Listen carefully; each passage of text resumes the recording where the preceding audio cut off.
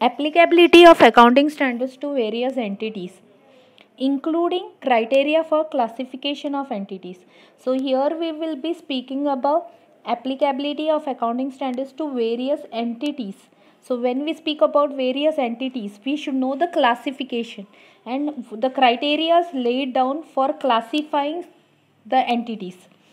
So, first we will look into the classification of entities and then to the extent what accounting standards are applicable to them. So, starting with the classification of entities. So, if we see the appendix 1, we will get the classification. So, criteria for classification of entities. So, if you see the criterias first you will come across something called small and medium sized companies. So small and medium sized companies which are called as SMC as defined in clause 2 subclause F of the company's accounting standard rule 2006 you will get the definition definition of SMCs and what is non SMCs but first we will go through something called non corporate entities so criteria for classification of non-corporate entities which is been decided by the Institute of Chartered Accountants of India. So they have been divided into three levels. Level 1, level 2 and level 3 entities. So we'll understand what comes what falls under level 1 and so non-corporate entities which fall in any one or more. So any one satisfied also any one of the criteria is satisfied also it will fall under level 1 category entities. So any one or more of the following categories at the end of the relevant accounting period. So this is at the end at the last day of the balance sheet.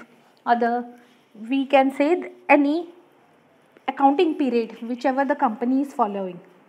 The last date will be the taken as the day on which we will check whether the, any of this criteria has been fulfilled and accordingly the entity will fall under that level. So, end of the relevant accounting period are classified as level 1 entities. So, any of this one of the criteria is fulfilled, it will fall under level 1 entity. So, what are they? Entities whose equity or debt securities are listed or are in the process of listing on any stock exchange whether in India or outside. So listed or in the process of listing. Banks including cooperative banks, financial institutions or entities carrying on insurance business. All commercial, industrial and business reporting entities whose turnover excluding other income exceeds 50 crores in the immediately preceding accounting year okay?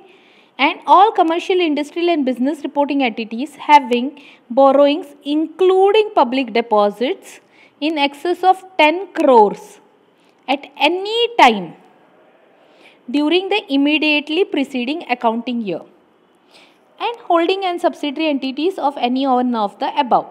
They will also become the level 1 entities.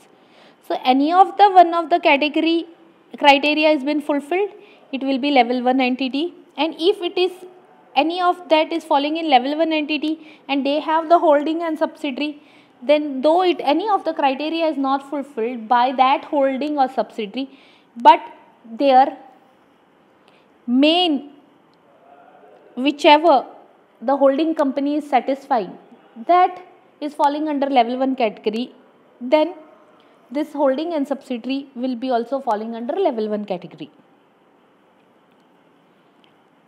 So if assume subsidiary is falling in level 1, then holding will also be in level 1, though any of the criteria is still not fulfilled. If holding is falling in level 1 category, then subsidiary will obviously fall under level 1 category, though any of the criteria are not been fulfilled. Level 2 entities, they are called SMEs. Non-corporate entities which are not level 1 entities but fall in any one of more of the following categories are classified as level 2 entities. So who are not satisfying level 1, we'll go to level 2, whether any of it is satisfied or not criteria. So what is the criteria? All commercial, industrial and business reporting entities whose turnover excluding other income exceeds rupees 1 crore but does not exceed rupees 50 crore in the immediately preceding accounting year. So 1 crore, more than 1 crore but less than 50 lakhs. Right? 50 crores. Sorry 50 crores. More than 1 crore but less than 50 crores. Because more than 50 crores it will fall under your level 1 category. So 1 crore to 50 crores between it will fall under level 2 categories so does not exceed rupees 50 crores in the immediately preceding accounting year okay so 50 crores and below will be level 2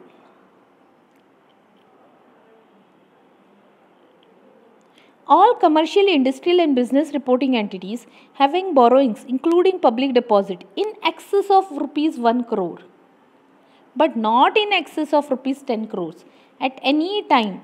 So here also 1 crore and 10 crores between will be falling under level 2. Okay. So no, but not in excess of 10 crore. So 10 crore above it will be level 2 during the immediate and holding and subsidiary entities of any one of them. So any one of the category is fulfilled, their holding or subsidiary will also fall under that same category. Then level 3. Level 3 is SMEs but what it is non-corporate entities which are not covered under level 2, level 1 and level 2 are considered as level 3 entities. Okay. So we will check any company we will scrutinize that whether they fall in level 1 or level 2 if they are not falling any of them then it is a level 3 company okay their holding and subsidiary also fall in the same category irrespective whether they fulfill the criteria or not irrespective whether they if they have not fulfilled any criteria but their holding or subsidiary is in that level category level 1 or level 2 category then it will fall under the same Okay. so we understood how to classify a non-corporate entity. What are the criteria? Same way it is for the SMCs. So what are the SMCs? So SMC means a company whose equity or debt securities are not listed or are not in the process of listing. So when we saw SMEs, it was like whether listed or in the process of listing. But here SMC is not listed or not in the process of listing on any stock exchange whether in India or outside which is not a bank, financial institution or an insurance company whose turnover excluding other income does not exceed rupees 50 crores in the immediate, preceding accounting year which does not have borrowings including the public deposits in excess of rupees 10 crores at any time during the immediately preceding accounting year and which is not a holding and subsidiary of a company which is not a SMC. Okay. So, this is a definition of SMC. So, explanation for the purpose of clause F a company shall qualify as a SMC if the conditions mentioned therein are satisfied at the end of the relevant accounting period. So at the end of the relevant accounting period, we will verify whether any of the criteria are fulfilled or not. Any one criteria is fulfilled, then it will fall under that category.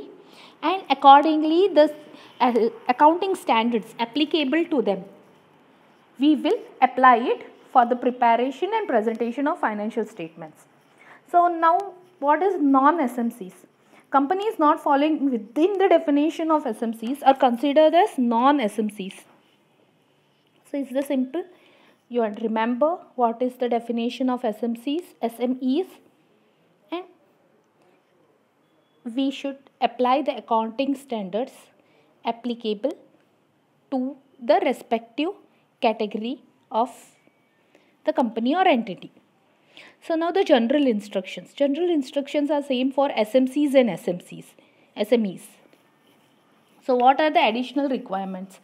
So additional requirements specifies if there has been a change from one accounting period to other whether the entity or that company has changed the level like in smcs there are no levels but in smes if it was either falling in a level 2 and it became a level 1 or level 3 and then it became level 1 so it has gone up higher upgraded to the higher one. then how?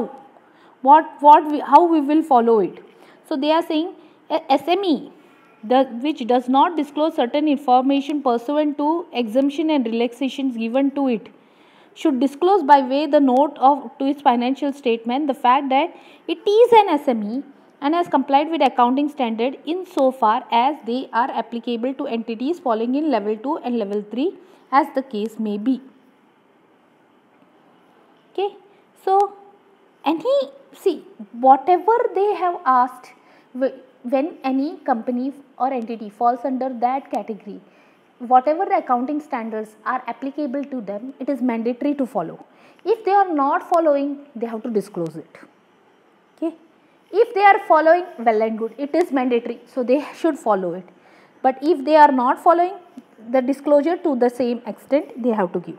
If they are applying more than what is required, then also the accounting standards says it's it's here if an entity covered in level 2 and level 3 opts not to avail of the exemptions and relaxations available to that level of entity in respect of any but not all the accounting standard it should disclose. Here it is saying like they are not availing that exemptions and relaxations. And they are giving disclosures accordingly. Then they should disclose the same in respect of which it has availed the exemptions and relaxations. Like partly they have accepted and partly not then to the extent of the same they should disclose it. They should make a statement explaining to the general public how much they have opted the exemptions and relaxations. Same way if an entity covered in level 2 and level 3 desires to disclose the information not required to be disclosed then it should if they are not required and they are disclosing then disclose according to what accounting standard says. You have to apply that accounting standard okay? So they say it should disclose that information in compliance with the relevant accounting standards. Okay? Then here we left it where an entity being covered in level 2 and level 3 has qualified for any exemption and relaxation previously but no longer qualifies. Why? Because it not falling in that. Okay? Then what it should do in current accounting period, the relevant standards or requirements become applicable from the current period and the figures for the corresponding of the previous accounting period need not be revised merely by the reason that it's being having been ceased to be covered in level 2 and level 3 as the case may be. The fact that the entity has covered in level 2 or level 3 as the case may be in the previous year and it has availed of the exemption or relaxations available to that level of entities should be disclosed in notes to the financial statement like it was falling in some level and now it is not falling to that. So in this in this accounting period it is not falling in that category criteria. So they need not revise their past previous year's figures. Just a disclosure in the notes as to why what had like they had they were applicable for exemption and ex, uh, whatever the exemption and relaxations were available last year is not available same to that extent the disclosure should be mm, made in the notes to the accounts. Then where an entity has been covered in level 1 and subsequently ceases to be covered, the entity will not qualify for exemption or relaxations available to level 2 entities until the entity ceases to be covered in level 1 for two consecutive years. Similarly is the case in the respect of which has been covered in level 1 or level 2 and supplicatory gets to the level 3.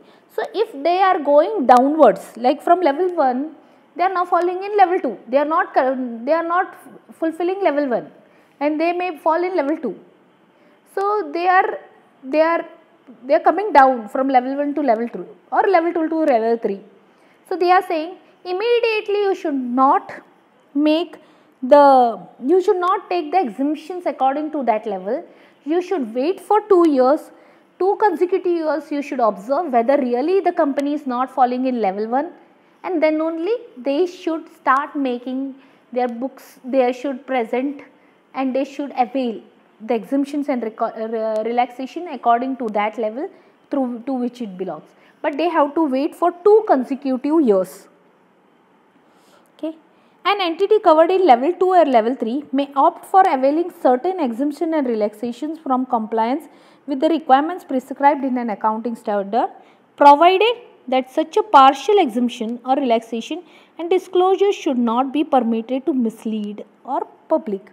So you can avail opt out, opt it like uh, certain exemptions and relaxations they will follow or not follow.